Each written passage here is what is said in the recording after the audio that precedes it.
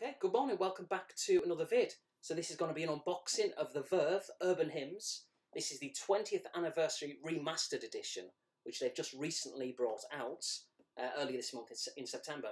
Now, it was 20 years ago to the day, the 29th of September 1997, when this album came out. Obviously, the chances are you're watching this video not on the 29th of September. But uh, yeah, 20 years today. Now, I'm not going to lie, I did buy it in 1997, but I didn't buy it on release day. And now I can look really cool and say I did. And maybe you did, uh, but I didn't. But I did buy all the singles leading up to it, and then a couple after that came out later on in 97 and early 98. But, um, but I did buy it probably maybe a month after it came out, and it's a fantastic album. And what they've done here is essentially, obviously because it's 20 years since it was released, they've remastered it. So I believe they've got the standard CD edition, which is just a normal CD in a jewel case with two CDs in there. They've probably, I didn't check this, but I imagine they've got the standard vinyl, just a reissue of the, the standard um, tracks on uh, from Urban Hymns. And then what they've got is they've got two limited edition box sets. Well, actually, they're not entitled limited edition, but I'm going to hazard a guess they're somewhat limited. Uh, but they're essentially box sets. You get this one, which is the vinyl one, which we're going to do the unboxing for. But there's another one called the Super Deluxe Edition. Now, with that, you get five CDs and a DVD. I believe the DVD set contains a documentary from 1999. Uh, I think they call it the videos, 1996 to 98 or something like that. Uh, it was only previously available on VHS, so it's good that that's now out. Even though it was widely available, I think there was some videos of it on YouTube as well. Uh, but it's nice to be officially out. You get four performances from the Jools Holland show from 1997, November time, I think. Uh, you get the Haigh Hall gig on DVD. I'm surprised it wasn't Blu-ray, but you get it on DVD, and I think that's the first time that's officially been released. So that's good. And you also get a 56-page hardback book, uh, as well as a poster and five postcards. So you get quite a lot for your money with the CD edition. Some of that you do not get in this. So I guess if you're a hardcore Verve fan and you love urban hymns, then you may want to consider getting the CD Super Deluxe Edition set, as well as maybe the vinyl set if you're into your vinyl. So um, yeah, some of that you don't get on this. Now, I think another difference actually that I've just uh, remembered is on the CD edition, what on the Super Deluxe 5 edition, uh, 5 CD edition, oh, that's a mouthful, what you get is an extra CD's worth of tracks from the BBC evening session. If anyone remembers that back in the day when Radio 1 was massive. Uh, I'm guessing by evening session it was probably Steve Lamacq and Jo Whiley. They used to do that, didn't they? That's when I used to listen to it anyway. So, uh, but I've not uh, checked the track list on that. So, whilst you don't get that CD or that vinyl in here, what you do get, and I'll kind of show it without revealing the code, what you do get in in this uh, vinyl box set is you get a code, a download code, and basically that download code entitles you to download everything from the Super Deluxe Edition CD set, basically. Um, so obviously you don't get the hardback book, you don't get the DVD, but anything uh, on the CD you can download. So if that kind of makes sense. But let's show you what you get with the um, the vinyl set. So this is like I say, it's Urban Hymns, the front cover, absolute classic front cover going on there. And then all on the sides, you've just got simply the Verve Urban Hymns, pretty bland, but pretty striking. On the back, you've got the track list. What I may do, and I may have started to have done it already, I'm not sure, but I might either cut away from the video from time to time and show pictures, or maybe have them in um, half the screen or taking up a window or something like that, just so you can see close-ups. Because I know the camera's a little bit far away. Um, but yeah, so that photograph there, I believe, is from Haigh Hall back in 1998, but we may slightly elaborate on that in a second. So if we turn it around, open this up, so it's just literally just the top of the box which comes off, very simply. Reveals a lovely colour there, kind of neon sort of yellowy green colour. Looks really striking. In fact, I'll probably elaborate on that again actually in a second. So yeah, I'll, I'll leave that bit. In here, what we get, let me just move that just in case. Um, what we get here is the, the cellophane. That's, this was on the front of the box, like the plastic kind of wrapper. I'm one of those weird people who keeps it because it's got stickers on. I'm not going to put it back on the box, of course, but uh, I like to keep it. Maybe you're the same, I don't know. I know some people throw it away. Uh, you do what you do with it, I guess. Now, this here, if I just hide the code, that's basically just what I was talking about a minute ago. Uh, this gives you all the uh, tracks from the CD edition, the Super Deluxe set, that you can download that aren't on this vinyl. So that's good. Uh, and you can obviously download all the tracks as well that are on the vinyl as well. So basically all the CD tracks, all the music tracks that are on the Super Deluxe Edition CD set, you can download if you buy the vinyl set. So what we've got here is this is what I'm going to elaborate on. So if you look at this, for anyone who's a Verve fan, if you think of the the uh, what was it, Lucky Man video, Lucky Man video, where they're in London, uh, looking out on the Thames, I think, in that studio apartment, it looks really really nice. That the sun shining in, the water. It's a great great video.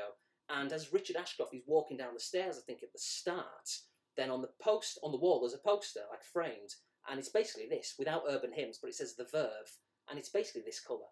So that's a really nice kind of touch. And this is essentially a 20-page booklet with, I believe, uh, some unreleased photographs. I know in the 56 hardback book in the CD set, I'm pretty certain all of those are exclusive photographs as well. And I, I think this is probably the same. So I don't know if you can see these, but as I say, what I'll do is I will put uh, some photographs up or some video up in the corner or I'll cut away and you can see that. So they're all nicely taken.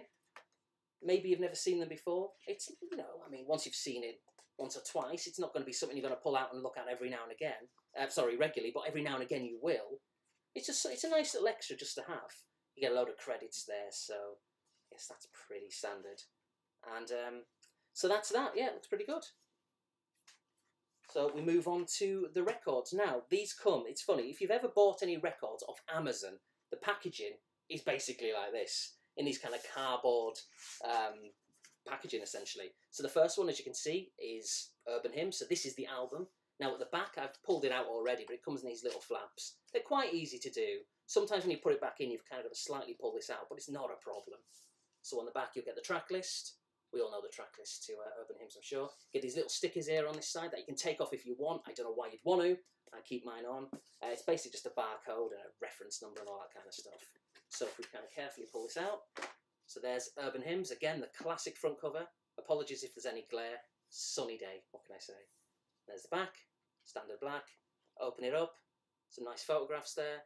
And if we, I won't actually get everything out. Well, maybe I will. Why not? So if we take the first record out, again, used to these images, I'm sure. And then if you want to just quickly check the record, it's the same on both sides. There we go, that's that one. And if I stick this back in, I guess really I don't have to put it back in, I could do this later. Just taking up extra seconds, isn't it? But I've started, so I'll finish, as Magnus Magnusson used to say. Um, there we go, that's one side. I think that's probably the back because on the other side, that's quite striking, quite artistic. Again, I wasn't going to show the record because it's just the same, but there we go. So that's that. So I will, in fact, put that to one side. There we go. Now we've got the next record, well, a couple of records, I guess, technically. Now, this one has got the B-sides. Yeah, there's some really good B-sides of, of The Verve. It's one of those bands. For me, the only other one that I can think of is Oasis, where most of their B-sides are good enough to get onto uh, to the album, quite frankly. For me, anyway, I've always thought that of Oasis and the songwriting skills of, of Noel Gallagher, essentially. Now, I wouldn't quite say every song that Richard Ashcroft and the Verve write, uh, which is a B-side, is good enough to be an A-side, but there's many which are. So some really good ones on here. Uh, for example, uh, Lord, I Guess I'll Know is a good one. Sorry, Lord, I Guess I'll Never Know. So Sister, good track. Three Steps, Never Want to See You Cry, The Longest Day, that's another good one. I guess that track list there was coming in handy for me to reel them off. So again, you get to see what's what's on there. There's a few mixes on there. Now also you get a couple of tracks which are um, I think released for the first time, apart from the greatest hits that came out in 2004. So if you look down the bottom there, and if you look at side four, you'll be able to see right at the bottom, uh, track number three, This Could Be My Moment, and then Monte Carlo. So both of these, I think the only time they've ever been on any Verve record or album was the greatest hits in 2004. And for me, it's a funny one uh, when it comes to This Could Be My Moment, because it doesn't, well, of course it sounds like a Verve song, but it's so out of place it does not sound like an Urban Hymns era song. I guess ultimately that's why they didn't put it on the record. It sounds like something that could have been maybe on their next album, or maybe even a previous album, almost in a sense, kind of harking back to sort of a Britpop era in a way, uh, or if not, maybe that kind of early millennium kind of sound. So um, yeah, it sounds out of place, but it's a really good song if you've never heard it, and maybe the chances are you haven't, especially if you're just a casual Verve fan then I definitely recommend checking out This Could Be My Moment. It's a brilliant track. So again, if we take the, uh, the record out, I'll just stick this to one side, put it away later. So we see the front cover. Again, these are the B-sides. And then you look at the, uh, the back. From a gig. I don't know what gig that is. There's the uh, the band in the middle. We'll take the records out. We'll have a look at the front cover and the records themselves. So this is the first one. Again, some nice artwork. And I think these may be, again, exclusive photographs, but I do stand corrected. And that's, is that upside down? No, I think it is. I think it is upside down. Anyway, there you go. You, you get the picture. It's basically just the band. And then if we look at the second record, I can take it out the artwork. There we go. Again, some nice photographs, possibly never seen before. And that's that. So yeah, the B-sides are really good, some really good tracks on there. And so many of them could be interchangeable with A-sides. But then again, you know, if some of these B-sides did make it on Urban Hymns, you'd have to take some tracks off. And that could be very, very hard because there's so many good ones. I mean, again, just I might as well just have it in front of me. Actually, it's going to be on this side, isn't it? But I mean, just looking at things like Bittersweet Symphony, an amazing track, Sonnet, The Rolling People. So it starts off really strongly. And I tell you what, how Richard Ashcroft lost 100% of the royalties to Bittersweet Symphony is just a, oh, it's a travesty. It really is. He basically wrote the entire song, all the lyrics are his, the song is his. The, the bit at the start that everybody recognises was written essentially by the Verve, but just a tiny little sample, if you like. Um, and as a result of using that, then the Rolling Stones, well, Mick Jagger and Keith Richards, get 100% of the royalties. How harsh is that? Now, it is worth noting that, at least to my knowledge, it's not the fault of Mick Jagger and uh, Keith Richards and the Rolling Stones. But you know what it's like when lawyers get involved. It's it's all about money, and it's such a shame because they're walking away essentially with um, with royalties and money for a song that they had nothing to do with, other than just a little bit of a sample. The song, the lyrics, the actual tune, it's Richard Ashcroft's song. It's terrible that he um, he doesn't get a penny for that, but I'm sure he's a wealthy man, so I guess it is what it is. I'm surprised he's not maybe you know countersued them or I don't know how it works, but that's crazy. Anyway, so last but not least, what we've got is we've got live at Haigh Hall from the 24th of May 1998. Now this was I think when the Verve were coming to the end of their world tour. I think after this they still had maybe a few gigs in Europe somewhere, and I think also they had some in the States. But this may have been the last one they had in the UK. They may have had a couple in Ireland after, I'm not sure. But yeah, so from the 24th of May 1998 and it was a triumphant gig uh, in Wigan, where they're from. And um, yeah, it's the first time, like I say, it's been available on DVD officially on the Super Deluxe Edition CD set, and uh, maybe the first time available on uh, on vinyl as well. I'm guessing. But anyway, so there's the front cover, and I love that purple effect at the bottom. It looks really, really nice. I mean, I don't know how well that picks up, but it looks really good. And at the back, then, there's a bit of a blue and a kind of purple kind of uh, hint uh, all across the stage there. So that looks really, really nice. And then if we open it up, we can see more photographs from the Haigh Hall gig. That looks nice. And then if we take the records out, it's the first one. That's a nice kind of artistic photograph there. And then on the back, there's the band.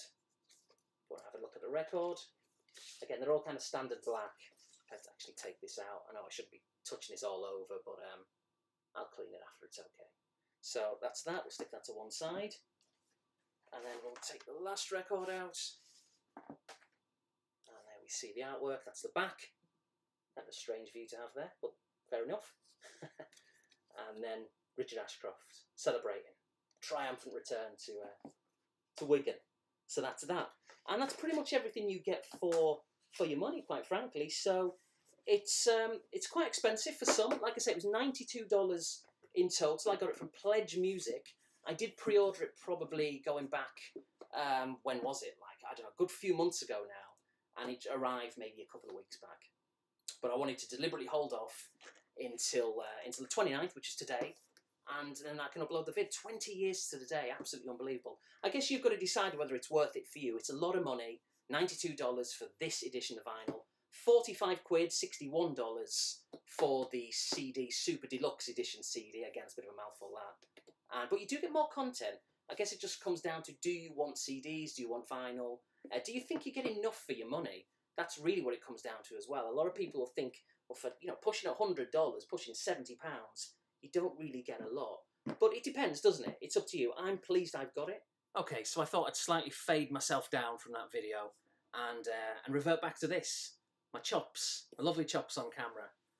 And uh, yeah, just so I can sum up the album, talk about it a little bit more, There's a couple of things I want to say. I think the first thing I want to talk about, as quickly as possible, is just to go through the track list, not necessarily in any great depths, but I started to before, and uh, so we'll slightly elaborate on it. So yeah, it starts with Bittersweet Symphony, which is a fantastic track. I talked earlier on, of course, about the, the royalties, which is a crying shame. It was a brilliant song, probably the most famous one on the on the album. Then you've got Sonnet, which is another great track.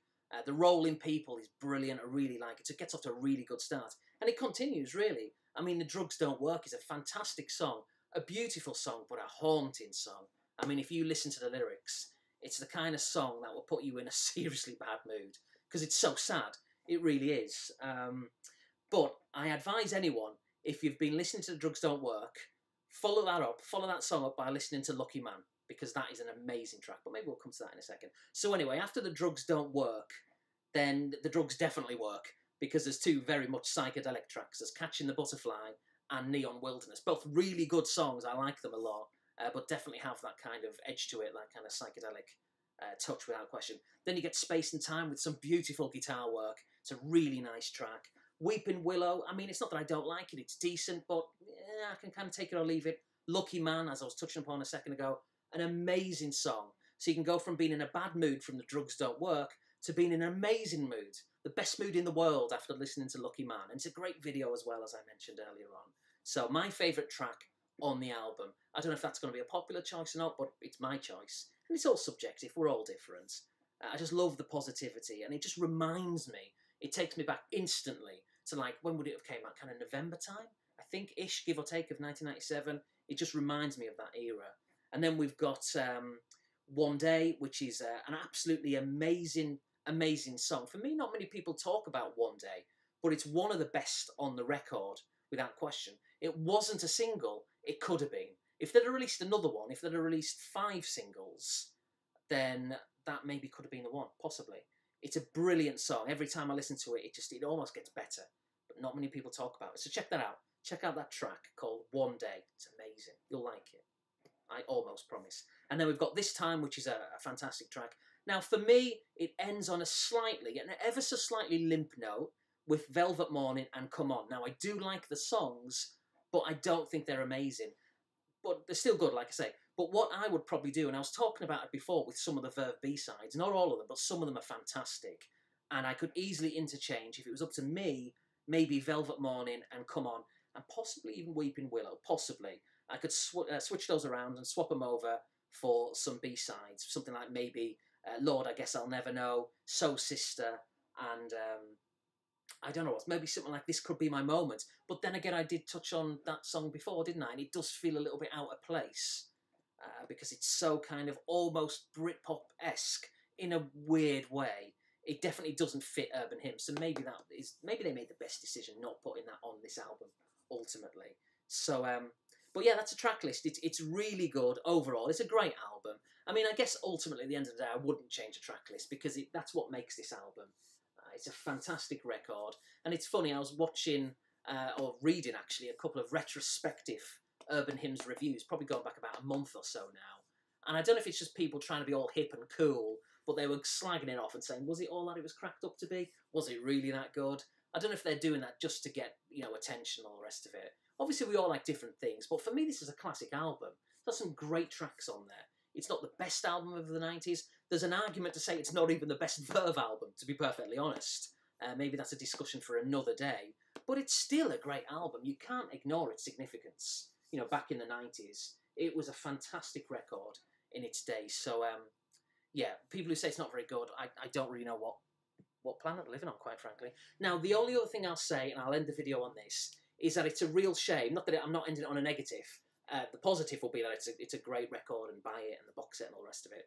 But I've got to add this bit in because what there should have been, there should have been an extra CD of unreleased studio songs. And that came about because the guitarist, Nick McCabe, and Sy Jones, who is the bass guitarist, uh, well, at least it's a story I heard, they compiled this CD, they found it, it had been lost, uh, someone gave it to them, and uh, they, you know, uh, reimagined, well, did they reimagine? I guess maybe remastered some of the songs. They worked on it basically, and to make them uh, remastered so they could put them on this 20th anniversary edition. That was the idea, to put them on these box sets. And the only person to veto, the only person to veto this was Richard Ashcroft. Now, there's a lot of kind of bad blood, really, between Nick McCabe, especially, and Richard Ashcroft. Nick McCabe, the guitarist, has been sacked twice in the past. So maybe, I've no idea, so maybe, though, there's a bit of kind of uh, ill feeling still there, a little bit of bitterness. Uh, bitterness Symphony. Maybe you should release that one. And But I don't know. But um, basically Nick McCabe was saying in a roundabout way from the interview that I read, and, it, and you know it was in print, so maybe the interviewer uh, could have slightly took him out of context. But from what I interpreted, Nick McCabe said that the reason that Richard Ashcroft vetoed these unreleased tracks, and there's some really good ones by the way, one in particular called Always a Maybes. I'll put a link in the description box. Check it out. It should have been on the album. It's a brilliant track. So don't forget to, to look at that um, to uh, click on that link and, and listen to the song and see what you think. But apparently, the reason Nick McCabe says is uh, that Richard Ashcroft didn't want those songs on this uh, limited edition, the vinyl and the CD set for the 20th anniversary, because Richard Ashcroft only co-wrote them. And because it's not uh, a Richard Ashcroft song, then Richard Ashcroft apparently didn't like that because it's all about Richard Ashcroft, according to Nick McCabe. Um, so yeah, clearly there's still a bit of needle going on between those two. I don't know how true that is. I did read something else a while back that that song in particular called Always a Maybes was written exclusively by Nick McCabe. And then I read something else where Richard Ashcroft said he, Nick McCabe's got nothing to do with it and he wrote it himself, Richard Ashcroft. So you've got two people essentially saying the same thing. At least that's what I read. I don't know if that's true. That's what I read. Maybe it's wrong. If you're a massive Fur fan, please let me know because uh, I, I want to know the truth. If anyone does know the truth, but uh, but that's a real shame. You know that they're clearly still arguing with each other. Will they ever reform now as a result? You know they've reformed, split, reformed, split in the past. Um, probably not. But I guess you can never say never. I think the only two bands off the top of my head, and there's probably more, but that I can think of that are massive that have never reformed, would be the Smiths and Slade. But apart from that, everybody else gets back together. So will it ever happen with the Verve? It's probably unlikely, but who knows? Who knows? So anyway, that's a shame because that track is really good and it would have been nice. I think a nice thing for the fans to have those extra tracks on this 20th anniversary box set. But I guess we'll have to wait maybe for the 25th edition, you know, or maybe the 50th edition. Maybe I'll do an unboxing of the 50th anniversary special. Imagine that. Never say never to that either. Um, but there we are. So thank you for watching. If you've got any questions, please don't hesitate to ask. I'll be more than happy to tell you what you get if I maybe didn't go into it in enough detail. Uh, but yeah, it's quite expensive. It's not for everyone, but I like it. I'm glad I've got it. I do like the CD one. You do technically get more for your money in that set, but of course it's CDs, and if you're into your vinyl, well then the CD is pretty useless. But I, I, probably at some stage in the future will get that CD set as well. Probably. Uh, maybe if I do, I'll have it on either a, an unboxing vid or just one of my standard monthly vinyl vids. Maybe that's where it'll be. The time will tell. So yeah, anyway, thank you for watching. I'll have more of these kind of unboxings. This is my first one, so apologies if it's rough around the edges or maybe went on way too longer, um, or, for, or went on for way too much longer than it should have done. Just about got that sentence out. Um, so yeah, I'll probably start doing these unboxing things of these limited edition vinyls and sets, maybe once a month.